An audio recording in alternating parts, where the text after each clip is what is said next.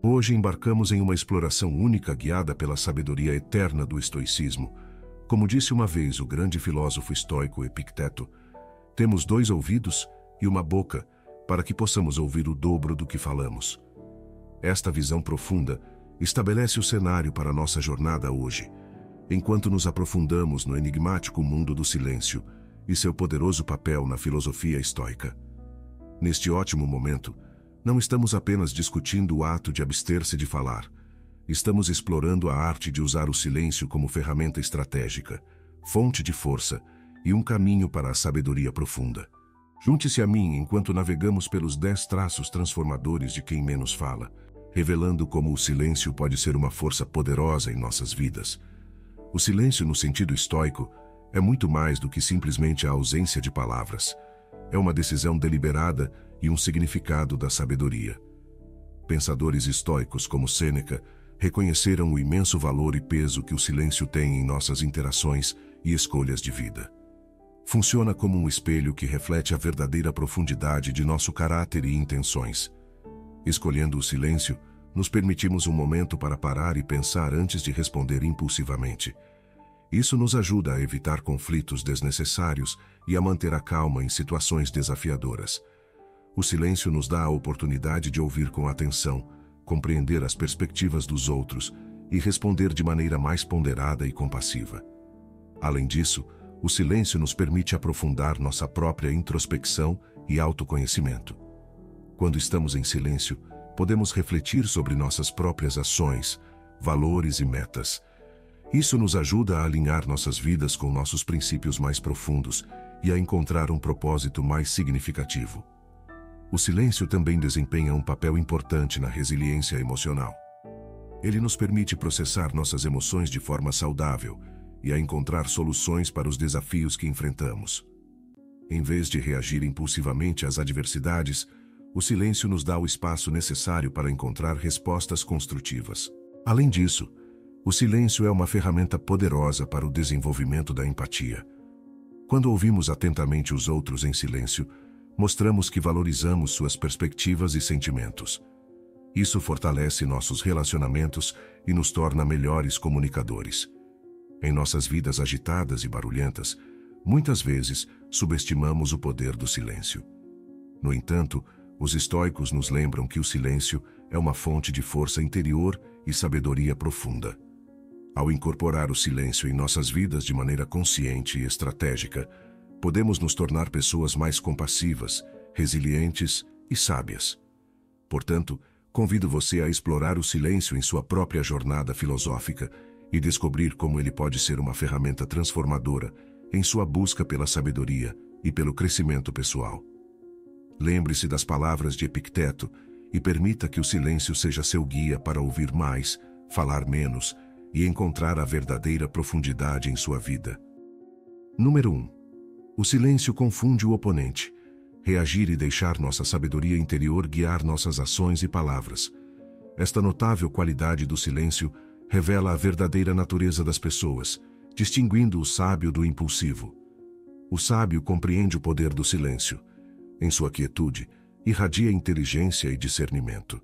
Domina a arte da paciência, esperando o momento certo para falar, consciente de que palavras ditas com pressa muitas vezes levam ao arrependimento. Em sua moderação, os sábios demonstram sua compreensão profunda do mundo.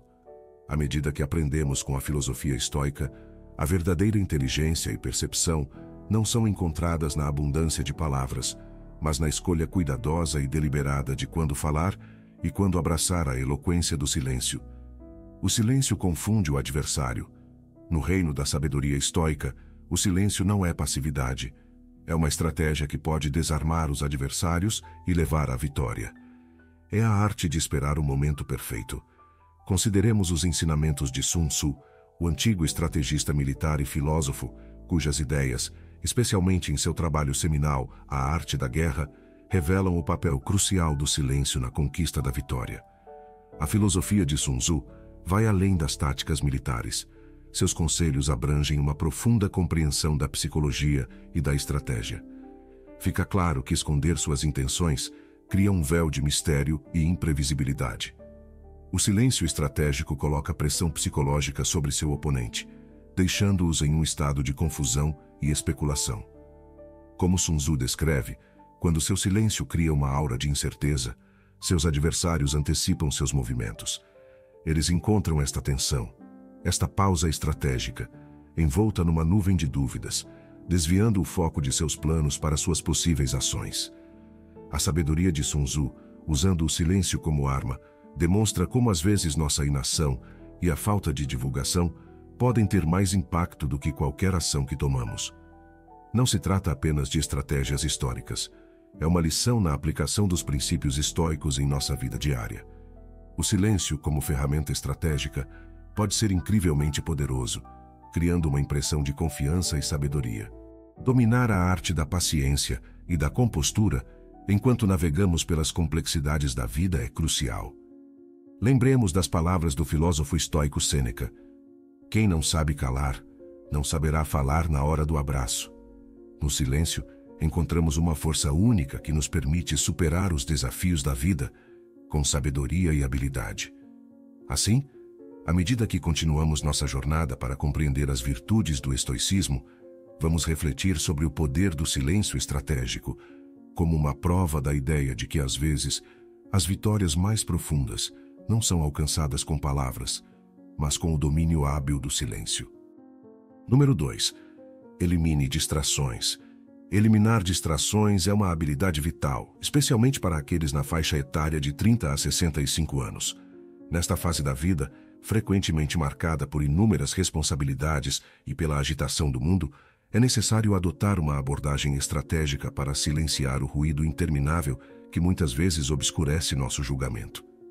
No entanto, no reino do silêncio, encontramos o espaço necessário para pensar, planejar estrategicamente e traçar um caminho a seguir. Esta não é uma ideia nova. As maiores mentes da história, desde os filósofos estoicos até os pensadores inovadores, compreenderam a importância do silêncio e da concentração. Eles aproveitaram esse poder para tomar decisões críticas e alcançar um sucesso incrível. Uma mente calma é, de fato, onde a inovação nasce. Eliminando distrações, você permite à sua mente vagar livremente, fazendo conexões e encontrando soluções que muitas vezes ficam escondidas no meio do barulho e do caos. O estrategista silencioso permanece calmo, olhando para o quadro geral, o grande tabuleiro de xadrez da vida, e toma decisões com intenção e precisão. Em nosso mundo moderno, sobrecarregado por dados e informações, o silêncio se torna uma ferramenta crucial para separar o trivial do vital. É nesses momentos de tranquilidade que podemos distinguir o ruído do sinal. O praticante do silêncio conhece o poder de estar presente, de estar completamente envolvido na tarefa em questão. A concentração profunda não se trata apenas de foco, mas de criar uma fonte de produtividade e criatividade. Quando você finalmente fala, suas palavras carregam peso, pois no silêncio, você examinou todos os ângulos, considerou todas as opções e decidiu com clareza. O silêncio não significa inação. É uma ação reflexiva e proposital. É a pausa antes do movimento, o ato de respirar antes do salto. Na tranquilidade da natureza, encontramos serenidade e redescobrimos o poder da simplicidade. A sabedoria do silêncio abraça o poder de eliminar distrações e pensar estrategicamente. É nesses momentos que você verdadeiramente se torna o dono do seu destino. Número 3. O silêncio atrai a atenção. O silêncio atrai a atenção. Imagine-se em uma sala lotada, com conversas zumbindo como um enxame ocupado. De repente, um momento de silêncio envolve a sala e todos os olhos se voltam instintivamente para quem encarna essa quietude. Isso é a atração do silêncio. Ele chama a atenção sem pronunciar uma única palavra. Considere um cenário de sala de aula, onde a voz do professor luta contra o murmúrio constante dos alunos. A sala é um turbilhão de ações, tornando um desafio transmitir conhecimento de forma eficaz. No entanto, quando o professor faz uma pausa, o silêncio cai e a atenção dos alunos é recuperada para este breve momento. O silêncio é um lembrete poderoso de que, mesmo em meio ao caos, existe uma oportunidade de reorientar e reativar. O silêncio, em sua essência, é um testemunho da profunda sabedoria do estoicismo. não é simplesmente a ausência de som.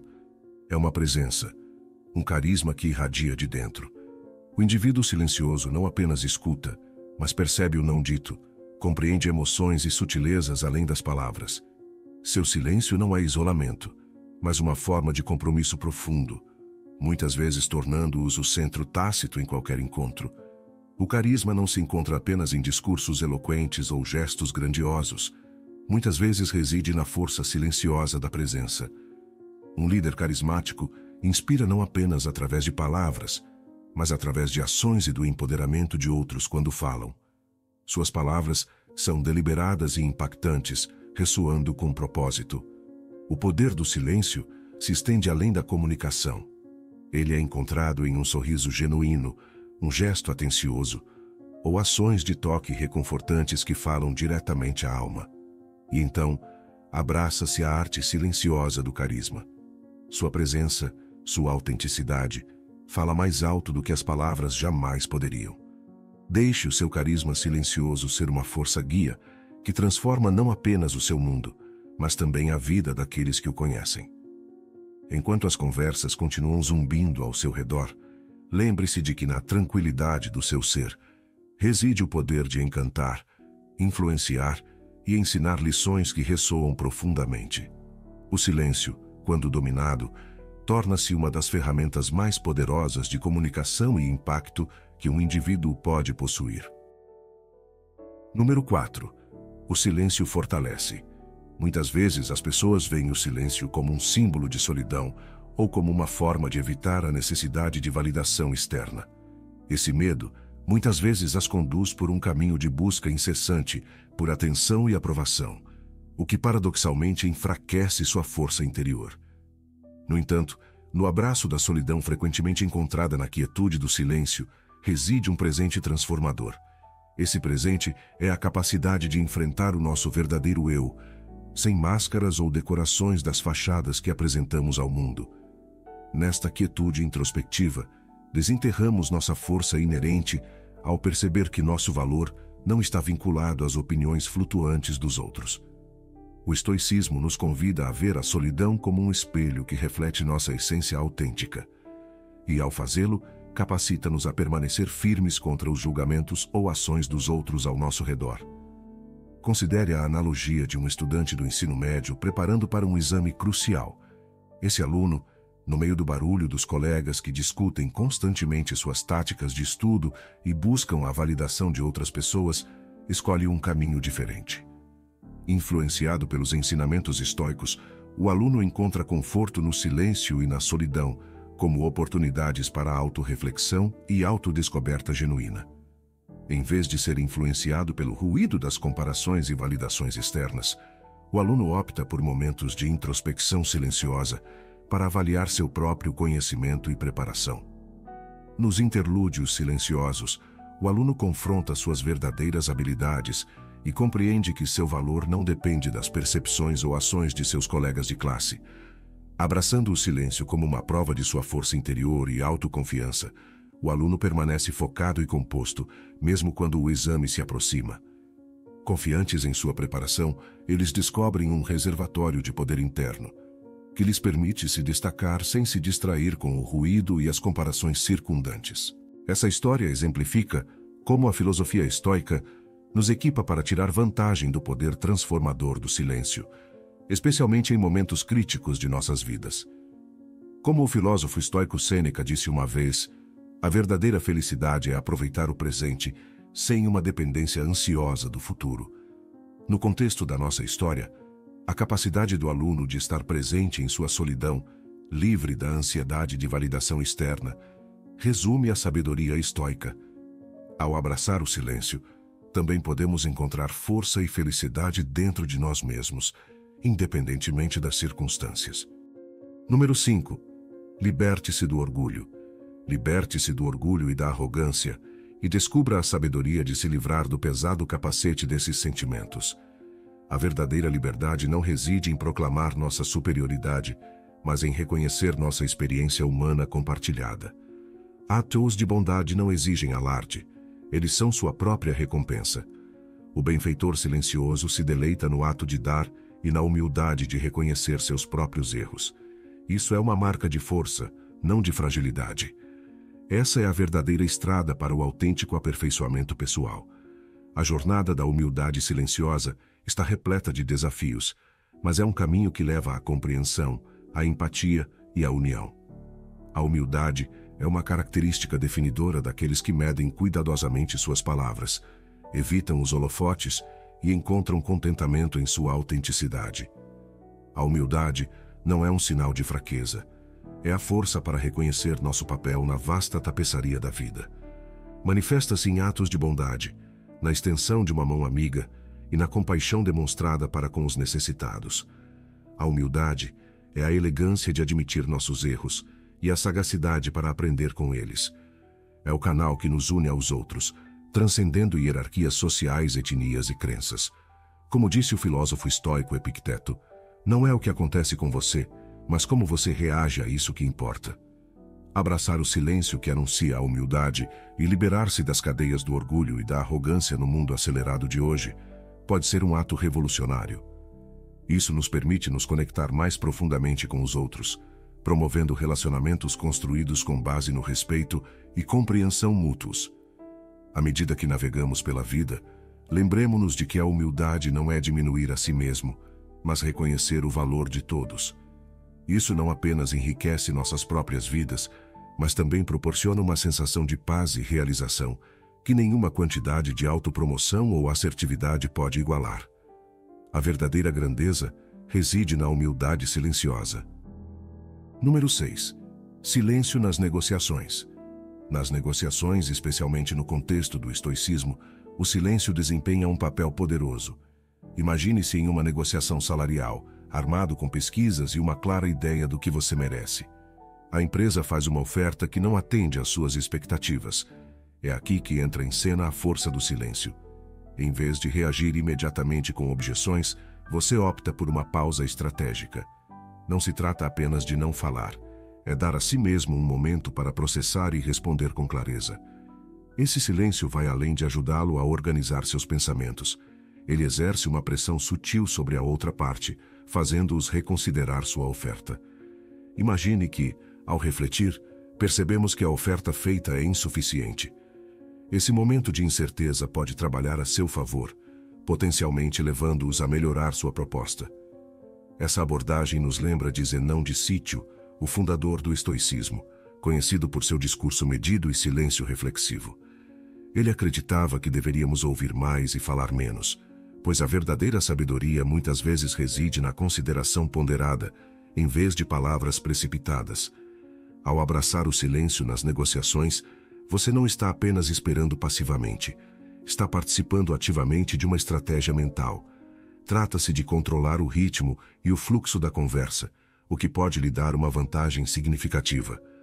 Caros colegas estoicos e ouvintes, aqui está a conclusão. O silêncio nas negociações é mais do que uma pausa reflexiva. É uma ferramenta estratégica. É uma maneira de mudar o equilíbrio a seu favor. Na próxima vez que você se encontrar em uma negociação, lembre-se do poder de uma pausa reflexiva. Pode ser a chave para virar o jogo e alcançar o resultado que você realmente merece. A bondade emerge como um ato profundo e simples no contexto do estoicismo. É uma escolha desprovida de qualquer obrigação, mas impulsionada por um desejo genuíno de elevar os outros. A bondade é o coração pulsante de uma sociedade compassiva, refletindo o princípio estoico de simpatia e a interconexão de todos os seres. Número 6. Silêncio nas negociações. Nas negociações, especialmente no contexto do estoicismo, o silêncio desempenha um papel poderoso. Imagine-se em uma negociação salarial, armado com pesquisas e uma clara ideia do que você merece. A empresa faz uma oferta que não atende às suas expectativas. É aqui que entra em cena a força do silêncio. Em vez de reagir imediatamente com objeções, você opta por uma pausa estratégica. Não se trata apenas de não falar, é dar a si mesmo um momento para processar e responder com clareza. Esse silêncio vai além de ajudá-lo a organizar seus pensamentos. Ele exerce uma pressão sutil sobre a outra parte, fazendo-os reconsiderar sua oferta. Imagine que, ao refletir, percebemos que a oferta feita é insuficiente. Esse momento de incerteza pode trabalhar a seu favor, potencialmente levando-os a melhorar sua proposta. Essa abordagem nos lembra de Zenão de Sítio, o fundador do estoicismo, conhecido por seu discurso medido e silêncio reflexivo. Ele acreditava que deveríamos ouvir mais e falar menos, pois a verdadeira sabedoria muitas vezes reside na consideração ponderada, em vez de palavras precipitadas. Ao abraçar o silêncio nas negociações, você não está apenas esperando passivamente, está participando ativamente de uma estratégia mental. Trata-se de controlar o ritmo e o fluxo da conversa, o que pode lhe dar uma vantagem significativa. Caros colegas estoicos e ouvintes, aqui está a conclusão. O silêncio nas negociações é mais do que uma pausa reflexiva. É uma ferramenta estratégica. É uma maneira de mudar o equilíbrio a seu favor. Na próxima vez que você se encontrar em uma negociação, lembre-se do poder de uma pausa reflexiva. Pode ser a chave para virar o jogo e alcançar o resultado que você realmente merece. A bondade emerge como um ato profundo e simples no contexto do estoicismo. É uma escolha desprovida de qualquer obrigação, mas impulsionada por um desejo genuíno de elevar os outros. A bondade é o coração pulsante de uma sociedade compassiva, refletindo o princípio estoico de simpatia e a interconexão de todos os seres. Imagine o riso contagioso que se espalha em um círculo de amigos, o calor que emana de um abraço ou o ouvido atento e não julgador de um verdadeiro amigo. Isso é bondade em sua forma mais pura. Encontramos isso na dedicação altruísta de enfermeiros e cuidadores, que curam não apenas o corpo, mas também o espírito. Marco Aurélio, um imperador estoico, disse uma vez que a bondade é o maior deleite da humanidade. Isso é evidente no poder das palavras reconfortantes e na presença calmante em tempos de vulnerabilidade. A bondade é a pedra angular da educação, onde os professores não apenas transmitem conhecimento, mas despertam a curiosidade e inspiram sonhos. Ela está presente nos heróis anônimos que cuidam do nosso planeta, recolhendo lixo, plantando árvores e defendendo a sustentabilidade. A bondade está na bravura dos bombeiros e socorristas que arriscam suas vidas por seres humanos e animais. Ela está no movimento global pela paz, onde milhões se unem declarando que a bondade e a compaixão sempre triunfarão sobre o ódio e a violência. A bondade se manifesta no ato de compartilhar uma refeição com alguém necessitado ou compartilhar conhecimento com aqueles que o desejam. Ela incorpora a crença na abundância para todos. Hoje, convido você a abraçar essa bondade e considerá-la em seus relacionamentos com os outros. Estenda a mão, ofereça um sorriso, compartilhe uma palavra gentil. Lembrem-se de que, como estoicos, acreditamos no poder das palavras medidas. Aqueles que falam menos o fazem com reflexão e gentileza, compreendendo o profundo impacto que suas palavras podem ter sobre os outros. Vamos nos esforçar para incorporar essa característica, pois ao fazê-lo, não apenas enriqueceremos nossas próprias vidas, mas também as vidas daqueles que nos rodeiam. A verdadeira grandeza reside na humildade silenciosa e na bondade genuína. Número 7. Hora da História. Vamos começar uma jornada pela vida de Jane, Michael, Tom e Emma, enquanto exploramos a essência do sétimo princípio. Seja gentil e considere levar os outros em consideração.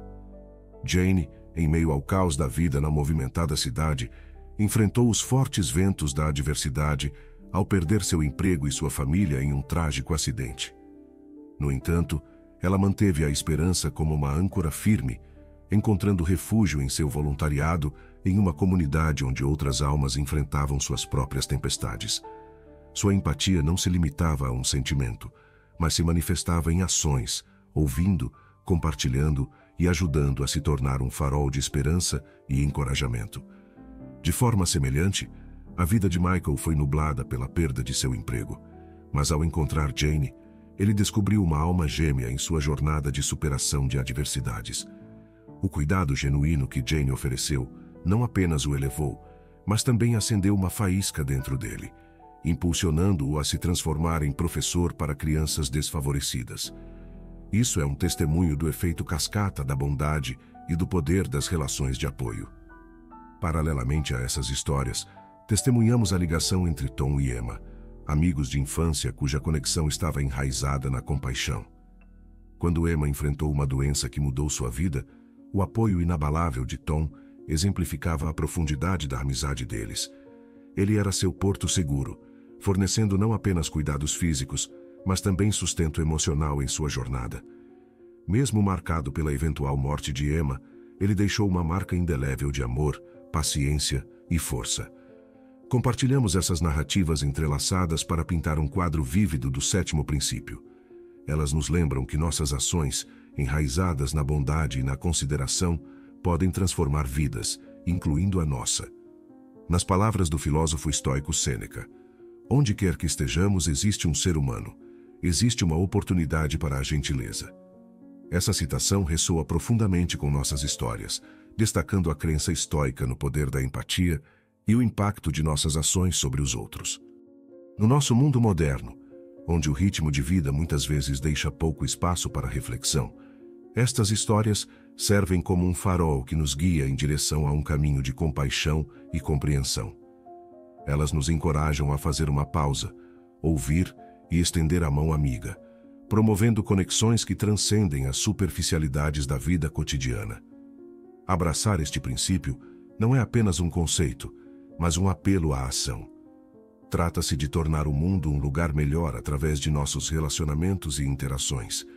À medida que navegamos pelas complexidades da vida moderna, vamos mantê-lo como guia para nossas ações e interações, criando uma tapeçaria de compaixão e compreensão que enriquece tanto a nossa vida como a daqueles que nos rodeiam.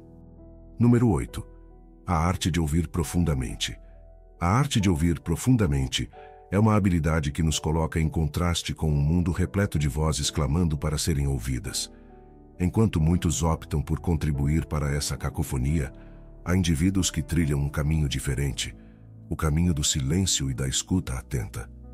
Esses indivíduos se tornam verdadeiros mestres na arte da escuta profunda. A escuta profunda vai além de simplesmente ouvir palavras. Envolve a imersão na profundidade das palavras, capturando não apenas o que é dito, mas também as emoções e pensamentos por trás delas. Essa capacidade de ouvir atentamente permite que absorvam uma riqueza de informações e enxerguem o mundo através de diversas perspectivas. Quando falam, suas palavras não apenas são ouvidas, mas também são sentidas. Essa habilidade de ouvir profundamente os transforma em confidentes confiáveis e conselheiros sábios.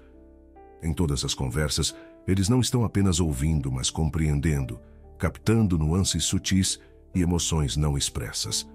Essa habilidade é um tesouro nas relações pessoais, pois promove conexões mais profundas e uma compreensão mais completa. No âmbito profissional, a escuta profunda é igualmente vital. Ela ajuda na compreensão de diversos pontos de vista, na tomada de decisões complexas e na resolução de conflitos com clareza. Como disse o filósofo estoico Epicteto, temos dois ouvidos e uma boca, para que possamos ouvir o dobro do que falamos. Essa citação encapsula a essência da arte de ouvir profundamente. Ela nos lembra que a escuta atenta é uma maneira poderosa de abraçar o silêncio e permitir que outros se expressem, resultando em perspectivas e ideias valiosas que de outra forma poderiam passar despercebidas. Portanto, podemos aprender com esses ouvintes profundos, pois em seu silêncio reside uma sabedoria que enriquece tanto suas próprias vidas quanto as vidas daqueles com quem interagem. A arte de ouvir profundamente nos convida a sermos mais conscientes, compassivos e abertos às vozes e histórias daqueles ao nosso redor, criando assim conexões mais autênticas e um entendimento mais profundo do mundo que nos cerca. Número 9. A arte da sabedoria.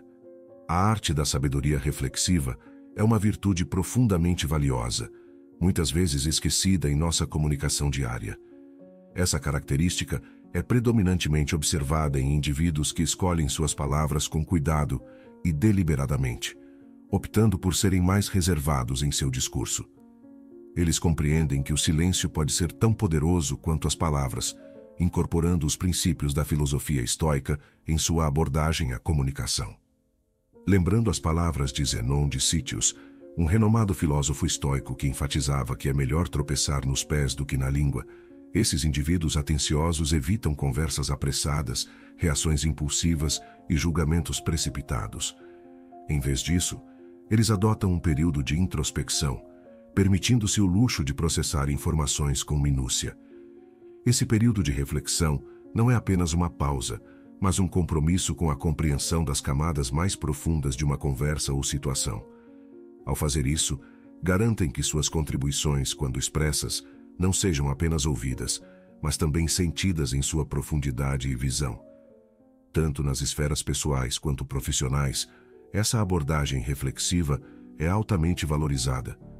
Ela demonstra uma maturidade que transcende o imediatismo das respostas emocionais e as pressões do momento. Pessoas que incorporam essa característica são frequentemente procuradas por seu sábio aconselhamento, sua capacidade de tomar decisões bem informadas e seu talento para manter uma perspectiva calma e equilibrada em situações tumultuadas. Para aqueles que a cercam, adotar essa qualidade pode ser transformador, incentivando uma mudança de reatividade para interações ponderadas, ao mesmo tempo em que cultiva conexões mais profundas. A lição mais significativa que podemos aprender aqui é que não devemos subestimar o poder do silêncio reflexivo. São nesses momentos de contemplação que a sabedoria verdadeira nasce, permitindo-nos navegar pela vida com maior clareza e propósito. A arte da sabedoria reflexiva nos convida a adotar uma abordagem mais ponderada e consciente em nossas interações, enriquecendo nossas vidas e contribuindo para um entendimento mais profundo do mundo que nos cerca. Número 10. Resiliência e adversidade. Resiliência e adversidade são dois temas que revelam a força silenciosa de indivíduos que, mesmo enfrentando as tempestades da vida, mantêm uma postura serena. Não são fracos, pelo contrário, seu silêncio é uma demonstração de uma força interior e estabilidade que não buscam chamar a atenção ou validar-se externamente. Em vez disso, eles navegam pelos desafios da vida de forma eficiente, emergindo muitas vezes não apenas ilesos, mas fortalecidos. Imagine alguém no meio de um mar tumultuado, ainda assim mantendo a calma como o olho da tempestade. Isso exemplifica a essência da resiliência deles, sendo imperturbáveis pelo caos ao redor, mantendo seus olhos fixos em seus objetivos e valores. Sua determinação silenciosa e resolução inabalável falam mais alto do que qualquer palavra. Essa lição nos ensina que a verdadeira força nem sempre precisa se manifestar de forma ruidosa. Às vezes, reside na determinação silenciosa e na capacidade de se curvar sem quebrar. Assim como uma árvore que enfrenta uma tempestade e, embora balance e dobre, nunca quebra, essa flexibilidade e resistência silenciosa refletem a resiliência estoica daqueles que falam menos. Devemos refletir sobre como podemos incorporar essa resiliência silenciosa em nossas próprias vidas. Talvez seja uma questão de encontrar força no silêncio, concentrando-nos em nossos valores internos e enfrentando os desafios da vida com calma determinação. Devemos lembrar que na sinfonia da vida, às vezes as notas mais impressionantes são aquelas que não podem ser pronunciadas. Ao final desta jornada pelas dez características de pessoas que falam menos, gostaria de deixar uma reflexão final. Pense em como esses princípios do estoicismo podem ser integrados à sua vida diária. Imagine o crescimento e a felicidade que você pode alcançar praticando o silêncio reflexivo, a comunicação intencional e a empatia profunda. Aplique essas lições em suas interações e reflexões pessoais. Encorajo você a compartilhar suas ideias e experiências nos comentários abaixo, para que possamos criar uma comunidade onde aprendemos uns com os outros e crescemos juntos. Lembre-se de que a jornada em direção ao crescimento pessoal é contínua e cada passo que você der para adotar esses princípios estoicos o ajudará a se aproximar de uma vida de profunda compreensão e verdadeira felicidade. Agradeço por fazer parte desta comunidade conosco e até a próxima. Lembre-se, ouça menos, haja mais e que suas ações reflitam seu crescimento. Fiquem com o Criador